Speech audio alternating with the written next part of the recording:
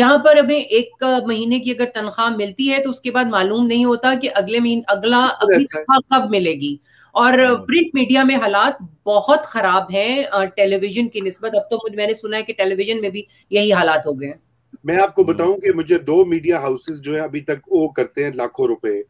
और मैं कभी सोचता हूँ लोग कहते हैं केस करो। मैं कहता हूँ मैं वकील की फीसें दूँगा अदालतों के चक्कर लगाऊँगा वकील को ढूंढूँगा जज को ढूंढूँगा। उससे बेहतर है कि मैं वो पैसे दरगुजर कर दूँ। मुझसे यंग लोग कहते हैं कि हम हम जर्नलिज्म करना चाहते हैं। मैं उनसे दस बार पूछता हूँ कि ये सोच लो कि ये ये ये होगा। Are you committed enough are you passionate enough कि तुम ये सारी चीज़ें जो बर्दाश्त कर लोगे। अब ये हकीकतें ऐसी बात नहीं कि फवाद चौधरी को नहीं पता। फवाद चौधरी साहब को सब बातों का पता है। वो जहीन आदमी है, हमारे दोस्त हैं मारवी आपको भी पता है कि वो सब बातें जानते हैं, लेकिन वो अपनी दिफा में और अपनी स्पिन डॉक्टरी में ऐसी ऐसी बातें कर गए आज कि वो देखें, मैं एक बात, इस मुल्क का ब्यूरोक्रेट चाहता है कि उसका बच्चा ब्यूरोक्रेट बन जाए। इस मुल्क का पॉलिटिशियन चाहता है उसका बच्चा पॉलिटिशियन बन जाए। इस मुल्क का इंजीनियर चाहता है उसका बच्चा इंजीनियर बन जाए इस मुल्क का डॉक्टर चाहता है उसका बच्चा डॉक्टर बन जाए हम्म। इस मुल्क का किसान चाहता है इस मुल्क का जर्नलिस्ट चाहता है अल्लाह के वास्ते मेरा बेटा जर्नलिस्ट ना बने। वो खुद उनको पता है कि मैंने कैसे तो पाला इसको। मेरे तो बेटे का मेरे तो बेटे का दाखिला जर्नलिज्म मेजर में हुआ था और मैंने उसे कहा प्लीज़ ये काम ना करो। छोड़ दे छोड़ दे भाई छोड़ दे। कोई वकालत करो। कोई डॉक्टरी हाँ, पढ़ो हाँ, कोई बिज़नेस पढ़ो मैंने दिखाया। कि यार मैं तो मैं तो पच्चीस तीस साल से फंस गया हूँ मुझे और कोई काम आता नहीं है। तो तुम तो कोई ढंग का काम कर लो जिसमें रोटी कमाई जा सके ऐसी तो बात है। और है। बिल्कुल। नहीं और इस ये हालात इसका सामना कर रहे हैं हम कई साथी और हमारे अपने हालात भी जो है वो हम ही जानते हैं। लेकिन हाँ। लेकिन लेकिन उसके बाद दिन में मुतद बार सोशल मीडिया पे जिससे आप आपको आपकी बात से जिससे इख्तलाफ हो वो कहता तुम लिफाफा लेते हो? मैंने कहा यार कोई हमें भी बताओ वाकता ज़रूरत है लिफाफे की और अब शायद अपनी अपनी पेशा वाराना ज़िंदगी के सैतीसवें साल में कोशिश करके जमीर भी मार लेंगे लेकिन कोई लिफाफा लाने वाला तो हमारे करो हमारे लिए हमें तो कोई नहीं देता। अब्बास साहब हमारे एक यंग कंट्रीब्यूटर हैं उमर भट्टी लिखते भी हैं एनालिसिस भी लिखते हैं रिपोर्टिंग भी करते हैं। सो वो और वो कोई एक दो साल से कह रहे हैं कि मैंने जर्नलिज्म में आना है। आप यकीन जाने कि उसको यकीन मैंने उसको इतनी मुश्किलों से रोका हुआ है कि अपनी नौकरी मत छोड़ो जहाँ पे पाकिस्तान में कुछ नहीं पढ़ा।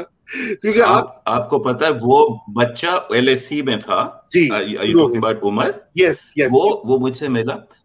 I I met him lovely boy fired up fire the belly वो मुझसे खफा हो गया। वो मुझसे कहने लगा अब मैं फुल टाइम जर्नलिज्म में जाना चाहता हूँ। मैंने कहा यार मत करो ये क्योंकि कोई ज़िम्मेदारी वगैरह तो नहीं है घर से खाते पीते नहीं, नहीं आप support the family Asad Toor कोई जर्नलिज्म से पैसे कमा रहा है। हाँ, कुछ नहीं गलत तो पैसे कमा रहा है। मतीउल्ला जान का आपने घर देखा है आपने असद का घर देखा है। मेरा मतलब है कि ये जिन लोगों को इन देखिए सिरिल हमारा दोस्त सिरिल उसका क्या हम्म। कसूर है? एक अमीन यंग आदमी जहीन टैलेंटेड अच्छा लिखारी उसका नाम जाना जाता है उसको आपने घर में बिठाया हुआ है अनएम्प्लॉयड करके। हम्म। मुर्तजा हम्म। सोलंकी साहब हमारे साथ मौजूद हैं हमारे प्लेटफॉर्म का हिस्सा है। हम्म। उनको आई मीन उन, उनको एम्प्लॉयमेंट से निकाला गया नुसरत जावेद। आई मीन बड़ी लंबी फहरिस्त है मेरा नाम खत्म हो जाएँगे।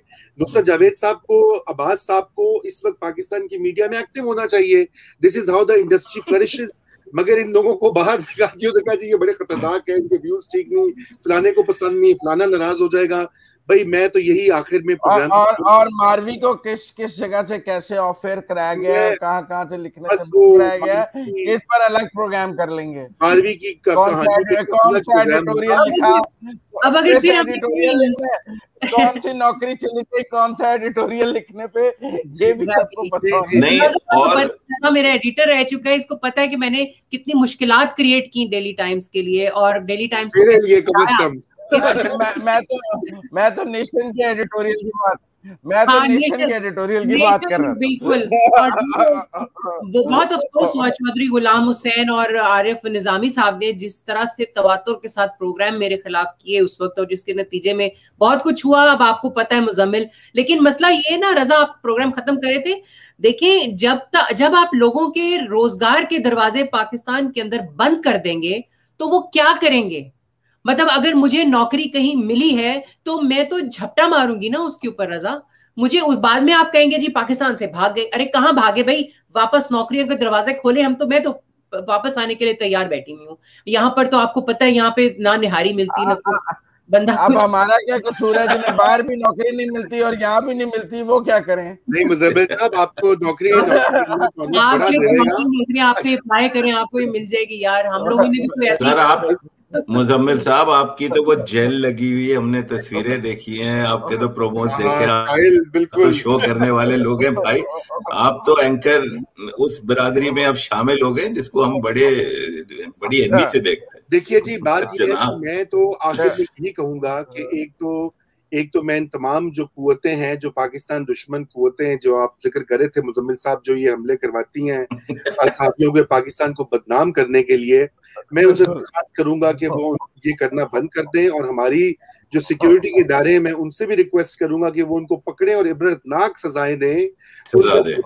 ज़्यादा बुरा हाल करें। नंबर एक और नंबर दो मैं ये भी कहना चाहता हूँ चूँकि मैं इस पूरे मरहले से गुजरा हूँ मैं भी ये आ, मुझे भी मुल्क छोड़ना पड़ा और मुझे मुल्क छोड़ने के लिए कोई मैं आ, वो छोड़ने के लिए मैंने अटैक नहीं करता मैं तो पहले बाहर नौकरी करता था मैं नौकरी छोड़कर पाकिस्तान में आया था अच्छी खासी हाँ। नौकरी। और मेरे माँ बाप जो आज तक मुझसे। नाला है कि तुमने वो क्यों किया क्योंकि उनके नज़दीक मैंने एक बहुत बड़ा जुर्म किया। लेकिन बहरहाल तो मैं अगर वहाँ पे होते तो आज हमें नौकरी दे दे देते वहाँ पे एग्जैक्टली exactly. तो बात यह है कि मेरे जब हम्म। साथी का एक अटैक में जब वो कत्ल हो गया उसके बाद मुझ पर इतना दबाव था कि मैंने कहा अगर मेरी वजह से किसी को एक किसी का बाल भी बाका हो अगली बार तो मैं वो बर्दाश्त कर ही नहीं सकूँगा। मेरे लिए अपने एक चॉइस थी और ये मेरा कानूनी हक है। ये आलमी कवानीन मुझे इजाज़त देते हैं कि मैं जिस मुल्क में जब चाहे जाकर रहूँ और अगर उनको ये लग रहा है कि ये कि मैं भी उसी कैटेगरी का हिस्सा हूँ तो मैं ये मैंने कहा ये वजाहत कर दूँ। इसके साथ ही आप सबकी तो बिल्कुल नहीं है। आप तो हर वक्त पाकिस्तान में मतलब इस मुल्क में इस मुल्क में मुशर्रफ जब प्रेसिडेंट थे तो उनका बच्चा पाकिस्तान में रहने को तैयार नहीं था। हाँ। अब यही तो बात है ना देखिए वो तो फिर बड़ी लंबी फहरिस्त है कि वो लोग जिनके बच्चे बाहर काम कर रहे हैं कारोबार कर रहे हैं और बाहर सेटल्ड हैं उनमें बहुत लोग आते हैं वो फिर अगले किसी प्रोग्राम में अच्छे वक्तों के लिए उस पर बात करेंगे। आज के लिए रजा आप बच्चों को पिज्जा की आप चेन वेन में लगाएँ क्योंकि अब बैरून मुल्क पाकिस्तानी वहीं बका है और वहीं फ़ायदा है। आपकी हम आप आप बच्चों को लगाए कोई पिज्जा कोई अंकल टॉम बॉम कोई पापा डैडी जॉन पीटर और चेन खोले और हमारा भी वजीफा मुकर करे हम रोज आएँगे नया दौर में आपसे अब्बास साहब मरवाएँगे हमें अब्बास साहब मरवाएँगे ये काफ़ी कुछ कर चुके हैं नहीं करो तो लोग अब कहते हैं आप नहीं नाम लेते आप मुजम्मिल साहब को कह दिया करें ना कमेंट करते हैं हाँ, मैंने कहा ये कमाल है वैसे